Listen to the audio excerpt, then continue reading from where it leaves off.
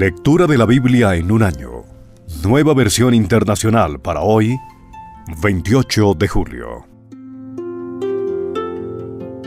Eclesiastés capítulo 4 Luego me fijé en tanta opresión que hay en esta vida.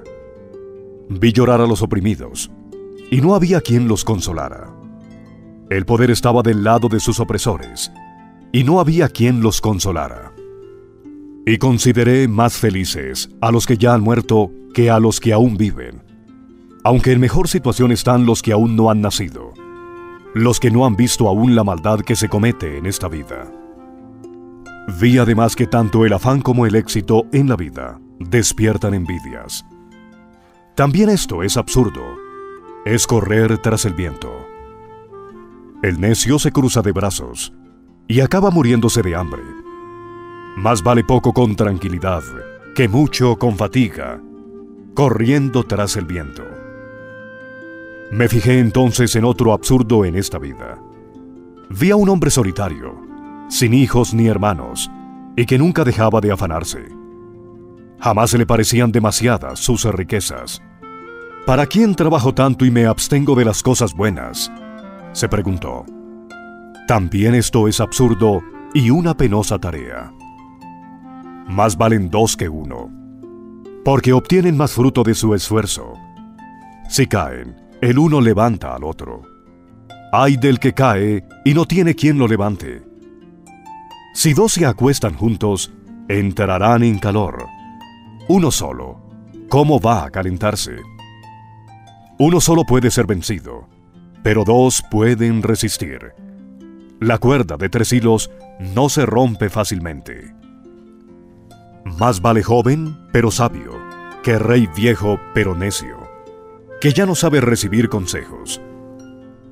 Aunque de la cárcel haya ascendido al trono, o haya nacido pobre en ese reino, en esta vida he visto que la gente apoya al joven que sucede al rey.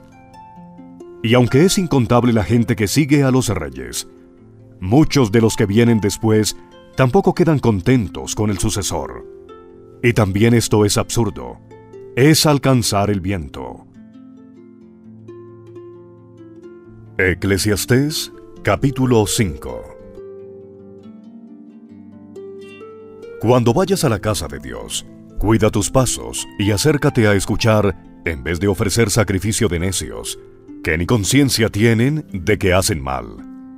No te apresures, ni con la boca ni con la mente, a proferir ante Dios palabra alguna él está en el cielo y tú estás en la tierra.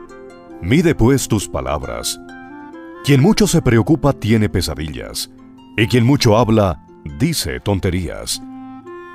Cuando hagas un voto a Dios, no tardes en cumplirlo, porque a Dios no le agradan los necios. Cumple tus votos.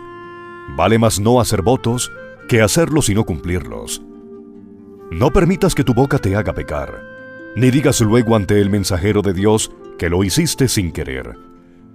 ¿Por qué ha de enojarse Dios por lo que dices y destruir el fruto de tu trabajo? Más bien, entre tantos absurdos pesadillas y palabrerías, muestra temor a Dios. Si en alguna provincia ves que se oprime al pobre y que a la gente se le niega un juicio justo, no te asombres de tales cosas, porque a un alto oficial lo vigila otro más alto, y por encima de ellos hay otros altos oficiales. ¿Qué provecho hay en todo esto para el país? ¿Está el rey al servicio del campo? Quien ama el dinero, de dinero no se sacia. Quien ama las riquezas nunca tiene suficiente. También esto es absurdo. Donde abundan los bienes, sobra quien se los gaste. ¿Y qué saca de esto su dueño, aparte de contemplarlos? El trabajador duerme tranquilo, coma mucho o coma poco. Al rico sus muchas riquezas no le dejan dormir. He visto un mal terrible en esta vida. Riquezas acumuladas que redundan en perjuicio de su dueño.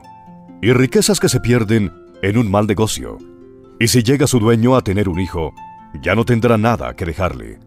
Tal como salió del vientre de su madre, así se irá, desnudo como vino al mundo, y sin llevarse el fruto de tanto trabajo. Esto es un mal terrible, que tal como viene el hombre, así se va. ¿Y de qué le sirve afanarse tanto para nada? Además, toda su vida come en tinieblas y en medio de muchas molestias, enfermedades y enojos. Esto es lo que he comprobado, que en esta vida lo mejor es comer y beber, y disfrutar del fruto de nuestros afanes. Es lo que Dios nos ha concedido, es lo que nos ha tocado. Además, a quien Dios le concede abundancia y riquezas, también le concede comer de ellas, y tomar su parte y disfrutar de sus afanes. Pues esto es don de Dios. Y como Dios le llena de alegría el corazón, muy poco reflexiona el hombre en cuanto a su vida. Eclesiastés capítulo 6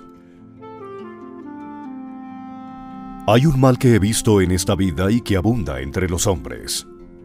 A algunos, Dios les da abundancia, riquezas y honores, y no les falta nada que pudieran desear, pero es a otros a quienes les concede disfrutar de todo ello. Esto es absurdo y un mal terrible. Si un hombre tiene 100 hijos y vive muchos años, no importa cuánto viva, si no se ha saciado de las cosas buenas ni llega a recibir sepultura.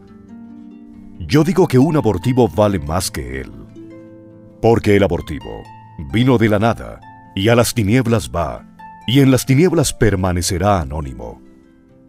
Nunca llegará a ver el sol, ni sabrá nada sin embargo, habrá tenido más tranquilidad que el que pudo haber vivido dos mil años sin disfrutar jamás de lo bueno. ¿Y acaso no van todos a un mismo lugar? Mucho trabaja el hombre para comer, pero nunca se sacia. ¿Qué ventaja tiene el sabio sobre el necio? ¿Y qué gana el pobre con saber enfrentarse a la vida? Vale más lo visible que lo imaginario. Y también esto es absurdo es correr tras el viento. Lo que ahora existe ya ha recibido su nombre y se sabe lo que es. Humanidad. Nadie puede luchar contra alguien más fuerte. Aumentan las palabras, aumentan los absurdos. ¿Y qué se gana con eso? En realidad, ¿quién sabe qué le conviene al hombre en esta breve y absurda vida suya, por donde pasa como una sombra? ¿Y quién puede decirle lo que sucederá en esta vida después de su muerte?